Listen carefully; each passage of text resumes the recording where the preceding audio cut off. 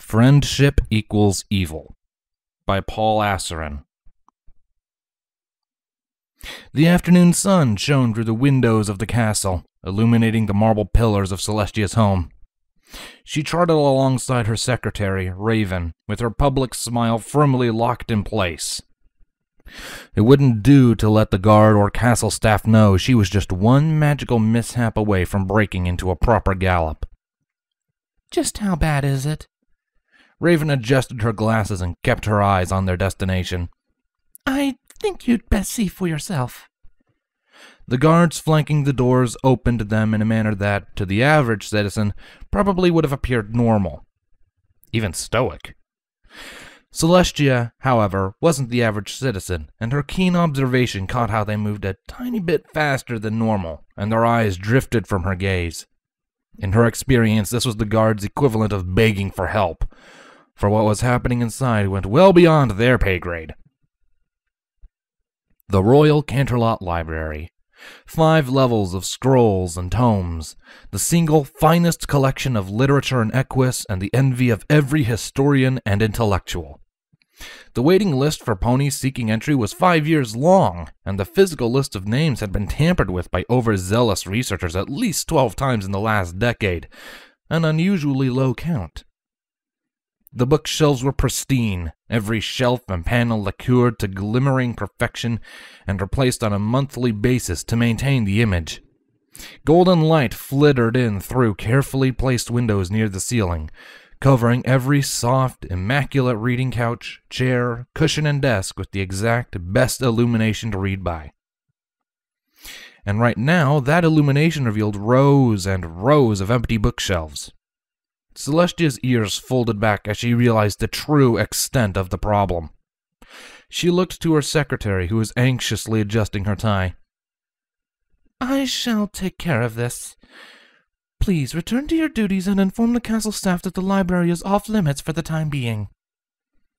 Raven, ever the epitome of calm, nodded firmly and trotted back to the door. Good luck, Celestia. Bracing herself, Celestia resolutely marched forward, ready to deal with this latest catastrophe. She imagined it wouldn't take long to find the source of the missing literature. Her guess proved sound when she rounded the first corner and the library's central reading foyer came into view. She froze, letting out a slow exhale at the incredible sight before her. Book forts were one thing, but this? this was a book palace. A low outer wall comprised of adventure stories held in a mode of harlequin romance. To the inspired constructor of this magnificent architecture, only the most vile of literary crimes. The drawbridge consisted of woodworking manuals.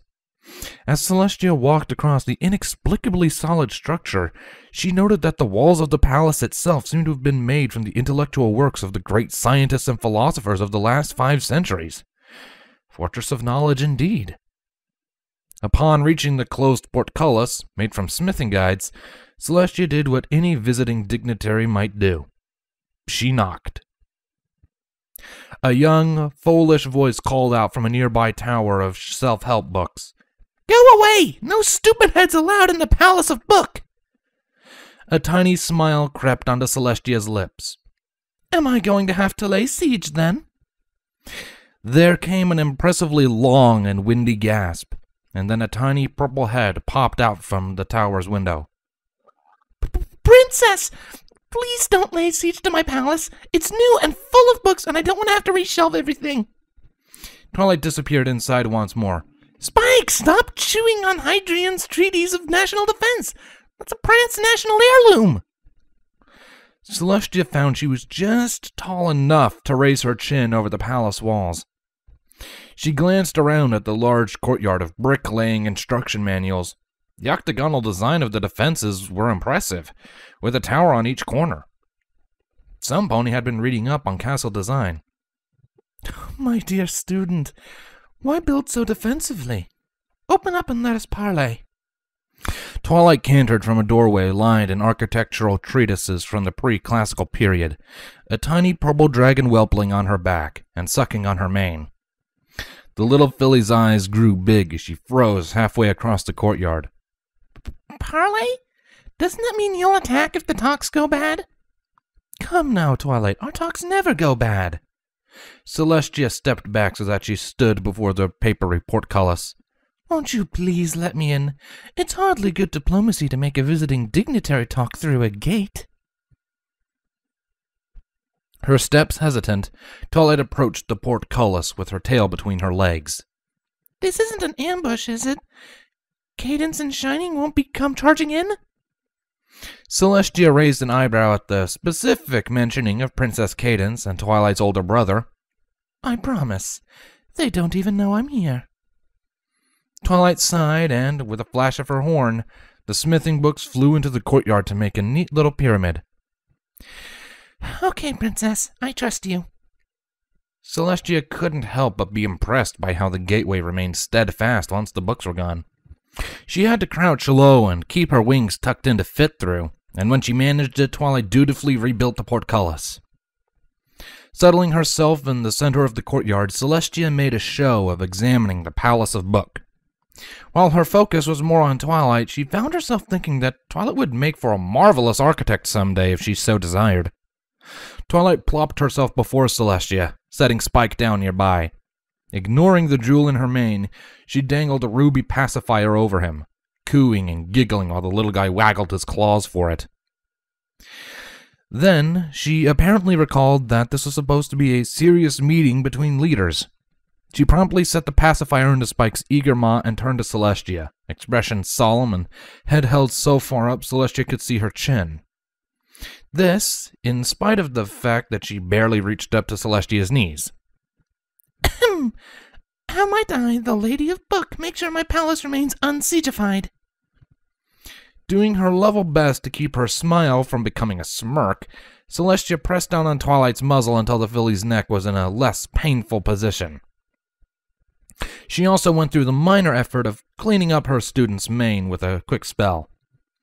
You can start by explaining why you've built a book palace in the middle of my library.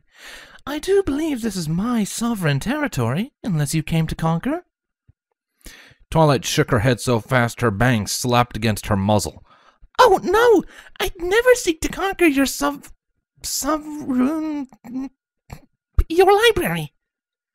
Then why build the palace? Twilight's smile faded, her brow furrowing until she had what might have been her most determined scowl. It looked a bit more like she'd eaten a sour grape, but Celestia kept her giggle in check. Barely. To protect me from stupid heads like Shiny and Cadance!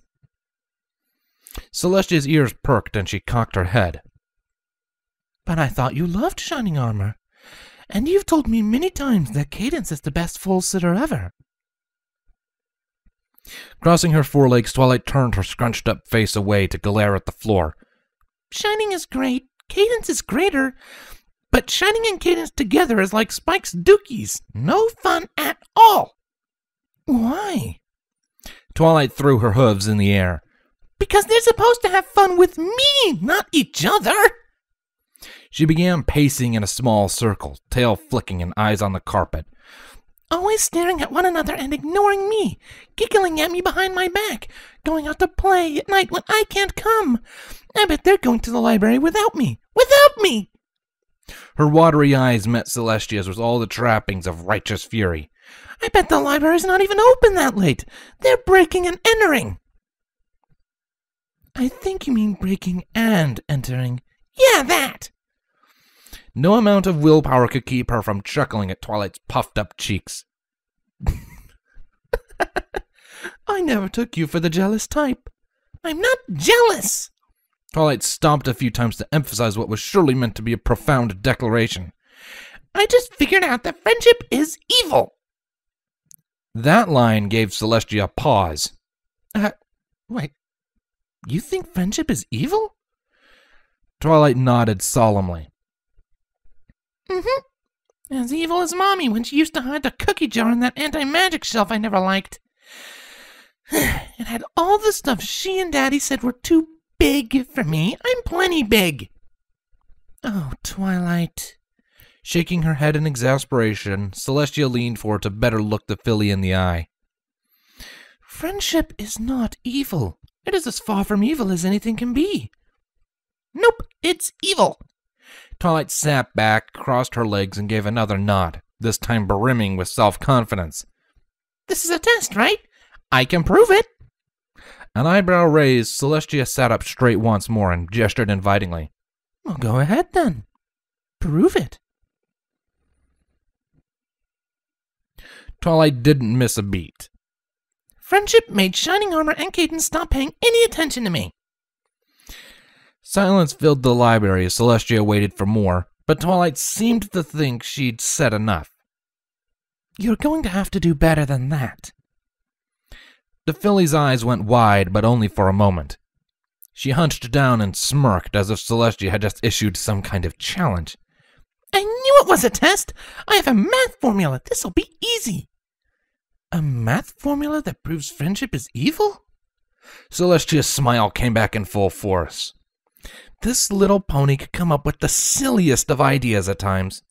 Now, this I have to see. Right, I, uh. Twilight swiveled her head about the bookish courtyard. Um, uh, yeah, I'm back. She galloped back to the tower she'd been in before, the one made from self help guides. Celestia took the opportunity to check Spike. He gurgled at her, lips coated in shiny ruby shards, which he patiently cleaned away with her magic. She grinned when he began sucking on his tail. Hmm. I can't wait until you're old enough to knock some sense into her when she gets silly like this. She rubbed his belly, earning a playful giggle. He tried to grab her hoof guard, which she kept carefully out of reach of his claws. She'd already had to replace one set, after all. Here we go. Twilight came galloping back with a large notepad and quill floating after her. She settled herself down before Celestia, raising her knee to her chin in what was probably meant to be a regal pose. It reminded Celestia quite curiously of one of her own. Now then, proof that friendship is. Wait. She ripped a page off the notepad, then another. Celestia caught just enough of a look at them to see what appeared to be stick figure representations of shining armor and Cadance with big frowny faces being attacked by some sort of book monster. Twilight took on her lecturer's pose once more. Now then, proof that friendship is evil. First, I turn to a quote by a noted magician, Crumpet Crunch. Relationships require time and money. That's the short form, by the way. On the pad, she wrote down the equation relationship equals time times money. Of course, friendship is just another word for relationship, so. Below the first equation, Twilight wrote down friendship equals time times money. Celestia raised an eyebrow at this, but elected to say nothing. She had to admit Twilight's line of thinking was intriguing. Appearing more confident with every word, her student continued the explanation. Now, according to the inventor and Smart Cookie's advisor, Ben Prankson, time is money. The next equation was written down time equals money. Make the substitution, and you get friendship equals money times money. Or friendship equals money squared. Celestia didn't know which surprised her more that Twilight had made such strange connections or that she taught herself basic algebra at the tender age of seven. It certainly hadn't been a part of her education so far. Huh, she'd have to consider bumping the filly up to tougher classes at this rate.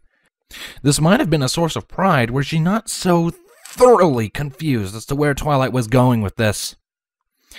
Twilight raised a hoof high, as if to capture the attention of an enraptured audience, her eyes closed and her expression grave. And here we have the proof. I quote the Book of the Sun and Moon Money is the root of all evil. The quill dutifully made the substitutions. Friendship equals the square root of equal squared. Therefore, friendship equals evil. And so it is proven that friendship is evil. With a firm nod, Twilight levitated the notebook towards Celestia. You can study my proof, Princess. I'm sure it's right. Celestia didn't take the notepad. She could only stare at the writing, her mind struggling to find all the ways to rip it apart. And there were many. Slowly, her gaze turned to Twilight. Normally, her silence would have the filly becoming gradually more and more nervous. She'd be able to see the gears working behind her eyes, trying to find the flaw. Instead, she saw Twilight who was so absolutely convinced of the truth of what she'd just presented. Oh, how to tell Twilight she was wrong without crushing her little heart. Twilight, please reshelve the Palace of Book immediately. When you are done, the two of us are going to have a little conversation with your brother and Princess Cadance. They could provide a proper demonstration once they understood how Twilight felt. Twilight's jaw dropped and her eyes widened to maximum shock size. The notebook dropped to the floor as her aura winked out. But, but, but that'll take forever, and I don't want to talk to those stupid heads. Celestia raised an eyebrow. Twilight's teeth clicked as her jaw snapped shut. Her ears folded back and her tail tucked between her legs. Yes, Princess. As Twilight got to work fixing her rather elaborate mess, Celestia took another look at the equations on the notepad. Her eyes followed each step as the mini lecture played out in her mind once more. The final line stood out to her amongst all the rest Friendship equals evil. She heaved a long sigh and solemnly informed a dozing baby dragon that it seems we've got a long way to go. Thank you for listening to this one shot. If you enjoyed any of what you heard, please consider leaving a like. If you're not already, consider subscribing. And if you're really feeling incredibly generous and really want to support me in what I do, then there's a link to my Patreon down in the description below. Thank you very much for any and all support, be it like, sub, favorite, whatever. It's all helpful. I appreciate it all. Thank you for tuning in. I'll see you next time. Bye bye.